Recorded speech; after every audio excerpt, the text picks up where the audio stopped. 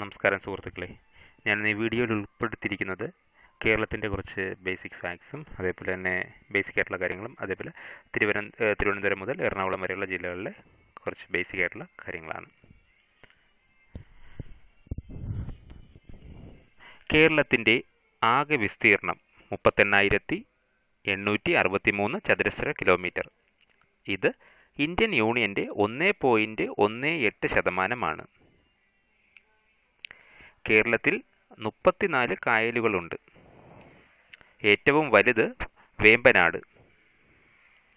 ശാസ്താംകോട്ട കായലാണ് കേരളത്തിലെ ഏറ്റവും വലിയ ശുദ്ധജല തടാകം. പശ്ചിമഘട്ടത്തിലെ ഏറ്റവും ഉയരം കൂടിയ കൊടുമുടി ആനമുടി. കേരളത്തിലെ നദികളുടെ എണ്ണം നാൽപ്പത്തിനാല്.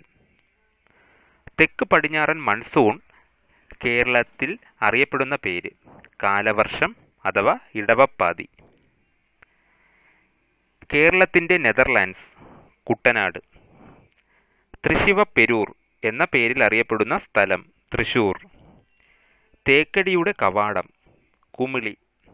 ഇന്ത്യയിലെ ആദ്യത്തെ ബയോളജിക്കൽ പാർക്ക് അഗസ്ത്യാർ കൂടം. തിരുവിതാംകൂറിന്റെ നെല്ലറ നാഞ്ചിനാട്.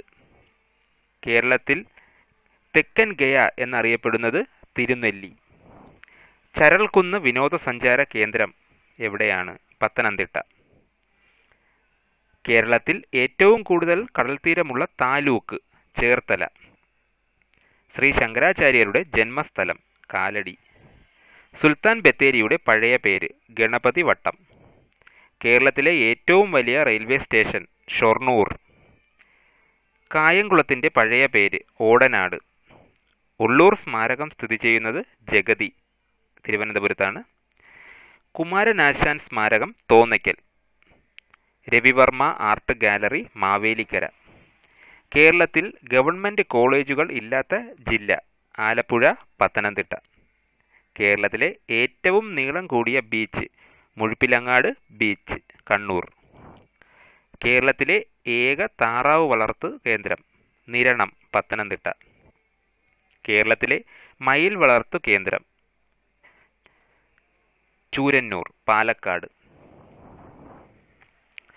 തുലാവർഷം എന്നറിയപ്പെടുന്ന വടക്കു കിഴക്കൻ മൺസൂണാണ്. കേരളത്തിന്റെ ഭൂവിസ്തൃതിയുടെ അറുപത്തഞ്ച് ശതമാനത്തോളം വരുന്ന മണ്ണിനം ലാറ്ററൈറ്റ് മണ്ണിനമാണ്. കേരളത്തിൽ കറുത്ത മണ്ണ് കാണപ്പെടുന്നത് പാലക്കാട് ജില്ലയിലെ ചിറ്റൂർ താലൂക്കിലാണ്.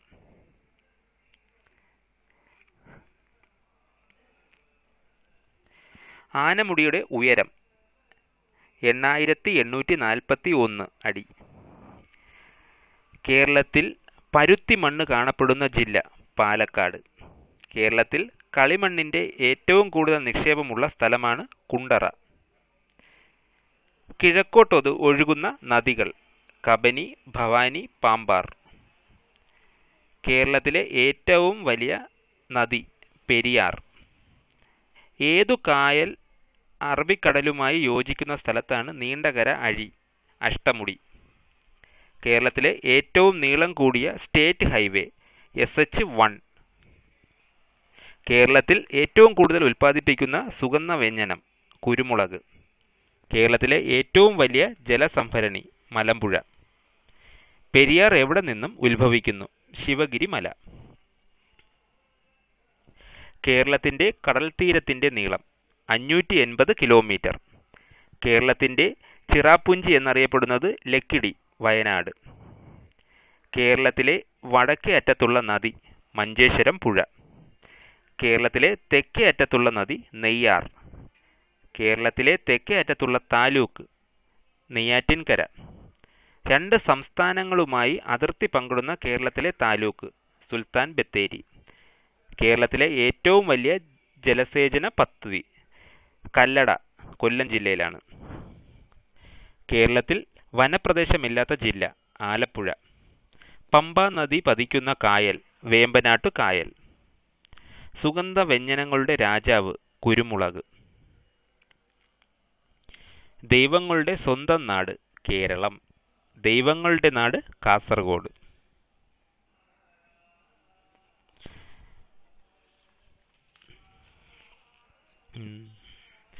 അരിപ്പ പക്ഷി സങ്കേതം തിരുവനന്തപുരം ജില്ലയിലാണ്. ഫോറസ്റ്റ് ട്രെയിനിങ് സ്കൂളും ഇവിടെയുണ്ട്. ഈ അരിപ്പ അരിപ്പ പക്ഷി സങ്കേതത്തിലാണ്. ഇന്ത്യയിലെ ആദ്യ ബയോളജിക്കൽ പാർക്കാണ് അഗസ്ത്യാർകൂടം കേരളത്തിലെ ആദ്യ തുറന്ന ജയിൽ കാട്ടാക്കടയിലും വനിതാ ജയിൽ നെയ്യാറ്റിൻകരയിലുമാണ്. കേരളത്തിലെ ഏറ്റവും തെക്കേ അറ്റത്തെ നദി നെയ്യാറാണ്. വെള്ളായണിക്കായൽ ഏറ്റവും തെക്കേ അറ്റത്തെ ശുദ്ധജല തടാകമാണ്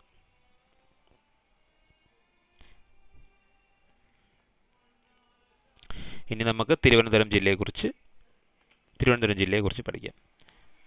കുമാരനാശാൻ സ്മാരകം തോന്നയ്ക്കൽ. ജില്ലയിലെ ഏറ്റവും ഉയരം കൂടിയ കൊടുമുടി അഗസ്ത്യമല. കേരള ഭാഷാ ഇൻസ്റ്റിറ്റ്യൂട്ടിന്റെ ആസ്ഥാനം തിരുവനന്തപുരം. ചിത്രാഞ്ജലി സ്റ്റുഡിയോ തിരുവന തിരുവല്ലത്താണ്. പതിനേഴാം നൂറ്റാണ്ടിൽ ആറ്റിങ്ങൽ റാണിയുടെ അനുവാദത്തോടെ ബ്രിട്ടീഷുകാർ നിർമ്മിച്ച അഞ്ചുതെങ്ങ് കോട്ട പ്രധാന ചരിത്ര സ്മാരകങ്ങളിൽ ഒന്നാണ്. കേരളത്തിന്റെ ഏറ്റവും തെക്കേ അറ്റത്തുള്ള taluk Neyyattinkara. Tropical botanical garden എവിടെ സ്ഥിതി ചെയ്യുന്നു? പാലോട്. ശ്രീ നാരായണ ഗുരുവിന്റെ സമാധി എവിടെയാണ്? ശിവഗിരി. ആയിരത്തി എണ്ണൂറ്റി എൺപത്തി എട്ടിൽ ശ്രീ നാരായണ ഗുരു ശിവപ്രതിഷ്ഠ നടത്തിയ ക്ഷേത്രം എവിടെയാണ്? അരുവിപ്പുറം. ആയിരത്തി തൊള്ളായിരത്തി മുപ്പത്തി ഏഴിൽ തിരുവനന്തപുരം ആസ്ഥാനമാക്കി ആരംഭിച്ച തിരുവിതാംകൂർ സർവകലാശാലയാണ് ആയിരത്തി തൊള്ളായിരത്തി അൻപത്തി ഏഴിൽ കേരള സർവകലാശാലയായത്. തിരുവനന്തപുരത്തെ ചാല കമ്പോളം സ്ഥാപിച്ചത് തിരുവിതാംകൂറിലെ ആദ്യ ദിവാൻ രാജാ കേശവദാസാണ്. കേരളത്തിലെ കേരളത്തിലെ കേരളത്തിലെ ഇന്ത്യയിലെയും ആദ്യ ടെക്നോ പാർക്ക് സ്ഥാപിക്കപ്പെട്ടത് കാര്യവട്ടം തിരുവനന്തപുരത്താണ്. കേന്ദ്ര കിഴങ്ങുവിള ഗവേഷണ കിഴങ്ങുവിള ഗവേഷണ കേന്ദ്രം എവിടെയാണ്? ശ്രീകാര്യം തിരുവനന്തപുരം. കേരളത്തിൽ ആദ്യമായി പബ്ലിക് ട്രാൻസ്പോർട്ട് സംവിധാനം നടപ്പിലാക്കപ്പെട്ട നഗരം തിരുവനന്തപുരം. തിരമാലയിൽ നിന്നും വൈദ്യുതി ഉണ്ടാക്കുന്ന ഇന്ത്യയിലെ ആദ്യ പദ്ധതി സ്ഥാപിതമായത് വിഴിഞ്ഞം. ശ്രീനാരായണ ഗുരു ജനിച്ച സ്ഥലം ചെമ്പഴന്തി. പാപനാശം എന്നറിയപ്പെടുന്ന കടൽ തീരം എവിടെയാണ്? വർക്കല. ഇനി കൊല്ലം ഡിസ്ട്രിക്റ്റ് കശുവണ്ടികളുടെ നാട് എന്നറിയപ്പെടുന്നു. ജയസിംഹൻ എന്ന രാജാവിന്റെ പേരിൽ നിന്നുമാണ് കൊല്ലത്തിന് ജയസിംഹ നാട് അഥവാ ദേശിംഗനാട് എന്ന പേര് വന്നത്. ഏറ്റവും കൂടുതൽ കശുവണ്ടി ഫാക്ടറികളുള്ള ജില്ല കൊല്ലമാണ്.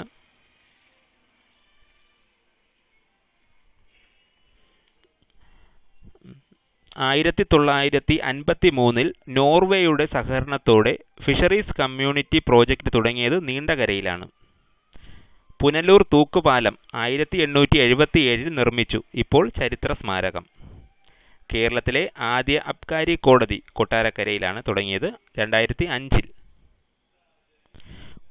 കുണ്ടറ ഏത് വ്യവസായത്തിന് പ്രസിദ്ധം? കളിമണ്ണ്. കേരള സിറാമിക്സ് എവിടെയാണ്? കുണ്ടറ. കഥകളിയുടെ ആദ്യ രൂപമായ രാമനാട്ടം പിറവി കൊണ്ടത് കൊട്ടാരക്കരയിലാണ്. State institute of rural development എവിടെ സ്ഥിതി ചെയ്യുന്നു? Kottarakkara. India Indian rare earth factory എവിടെ സ്ഥിതി ചെയ്യുന്നു? ചവറ. കേരളത്തിലെ ആദ്യ പേപ്പർ മിൽ എവിടെയാണ് സ്ഥാപിച്ചത്? പുനലൂർ. ഇനി പത്തനംതിട്ട. പത്തനംതിട്ട പത്തനംതിട്ടയുടെ സാംസ്കാരിക തലസ്ഥാനം എന്നറിയപ്പെടുന്നത് ആറന്മുള. ദക്ഷിണ ഭാഗീരഥി എന്നറിയപ്പെടുന്നത് പമ്പ. ആറന്മുള വള്ളംകളി. വെള്ളത്തിലെ പൂരം എന്നറിയപ്പെടുന്നു. പടയണിക്ക് പ്രസിദ്ധമായ സ്ഥലം കടമ്പനിട്ട. ഏഷ്യയിലെ ഏറ്റവും വലിയ ക്രൈസ്തവ സമ്മേളനം മാരമൻ കൺവെൻഷൻ. ശബരിഗിരി പദ്ധതി ഏത് നദിയിലാണ്? പമ്പ. ഇന്ത്യയിൽ ആദ്യമായി പൂജ്യം ജനസംഖ്യ വളർച്ചാ നിരക്ക് കൈവരിച്ച ജില്ല പത്തനംതിട്ട.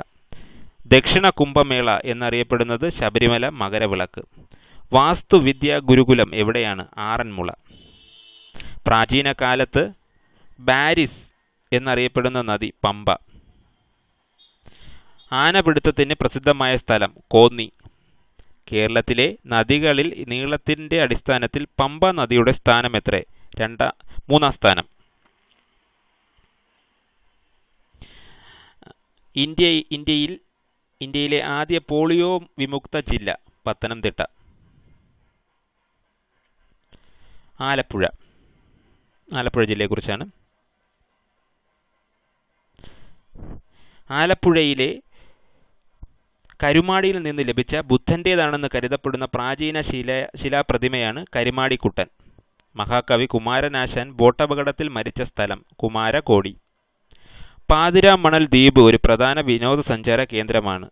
വേമ്പനാട്ട് കായലിലാണ് ഇത് പമ്പയുടെ ദാനം എന്നറിയപ്പെടുന്നത് കുട്ടനാട്.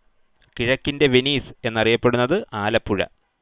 കേരളത്തിലെ ഏറ്റവും വലിയ ചുവർ ചിത്രം കൃഷ്ണപുരം കൊട്ടാരത്തിലെ ഗജേന്ദ്രമോക്ഷം ഏറ്റവും ഏതു കായലിലാണ് നെഹ്റു ട്രോഫി വള്ളംകളി നടക്കുന്നത്? പുന്നമടക്കായൽ തണ്ണീർമുക്കം ബണ്ട്. ഏത് കായലിലാണ് നിർമ്മിച്ചിരിക്കുന്നത്? വേമ്പനാട്.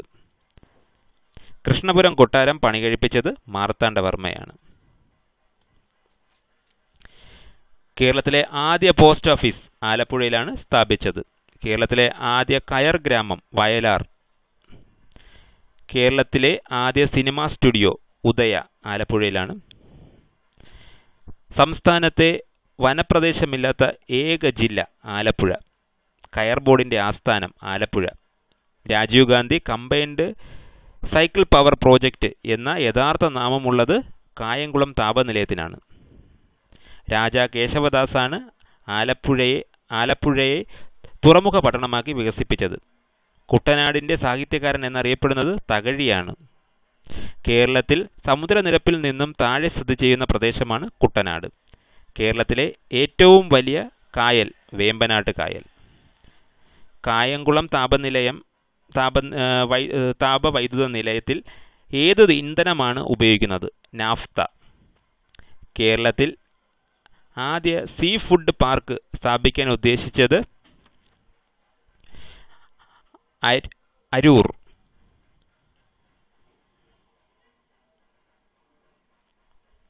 അടുത്തത് കോട്ടയം ജില്ല. സമുദ്രതീരമില്ലാത്തതും കേരളത്തിലെ ജില്ലകളുമായി മാത്രം അതിർത്തി പങ്കിടുന്നതുമായ ഏക ജില്ല. അക്ഷരങ്ങളുടെ നാട് എന്നറിയപ്പെടുന്നു. വൈക്കം സത്യാഗ്രഹത്തിനു നേതൃത്വം നൽകിയത് ടി കെ മാധവൻ. കേരളത്തിലെ ആദ്യ അച്ചടിശാലയാണ് കോട്ടയത്തെ സി എം എസ് പ്രസ്. ആയിരത്തി എണ്ണൂറ്റി ഇരുപത്തി ഒന്നിൽ ബെഞ്ചമിൻ ബെയ്ലി സ്ഥാപിച്ചു.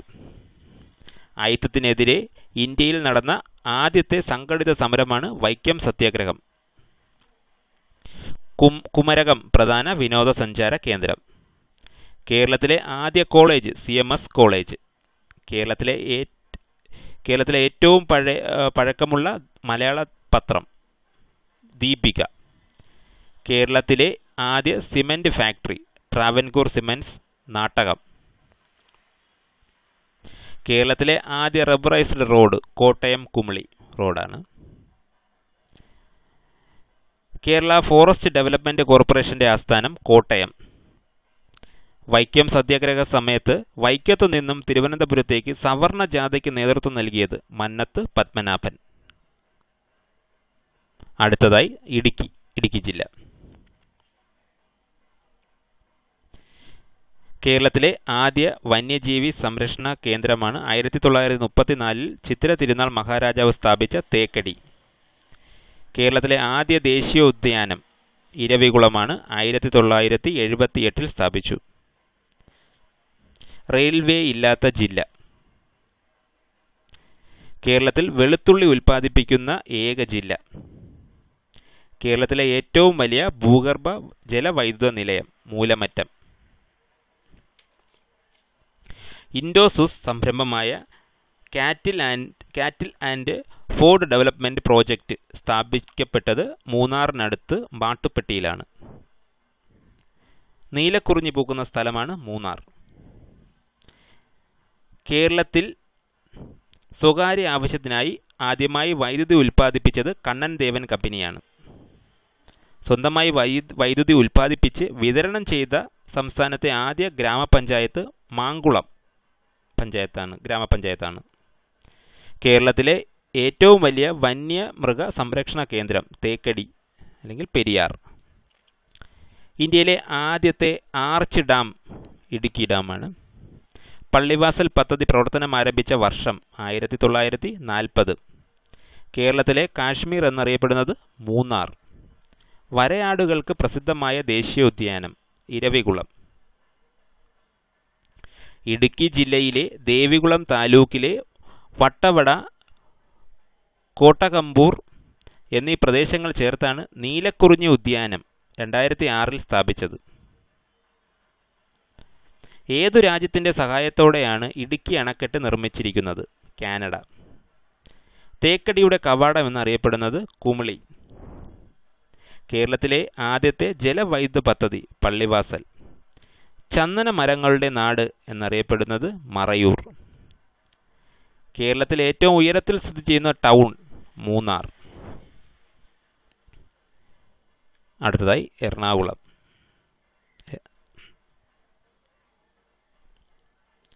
കൊച്ചി തുറമുഖ വികസന വികസനത്തിന് സഹായിച്ച രാജ്യം ജപ്പാൻ.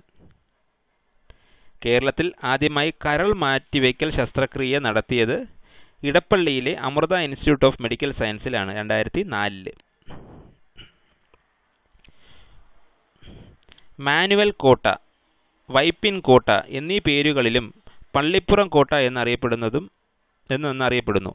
മാനുവൽ കോട്ട വൈപ്പിൻ കോട്ട എന്നീ പേരുകളിലും പള്ളിപ്പുറം കോട്ട അറിയപ്പെടുന്നു. ആയിര ആയിരത്തി അഞ്ഞൂറ്റി മൂന്നിൽ പോർച്ചുഗീസുകാർ നിർമ്മിച്ചു. ബോൾഗാട്ടി കൊട്ടാരം ഡച്ചുകാരാണ് നിർമ്മിച്ചത്. കേരളത്തിൽ കേരള ചരിത്ര മ്യൂസിയവും ചങ്ങമ്പുഴ സ്മാരകവും ഇടപ്പള്ളിയിലാണ്.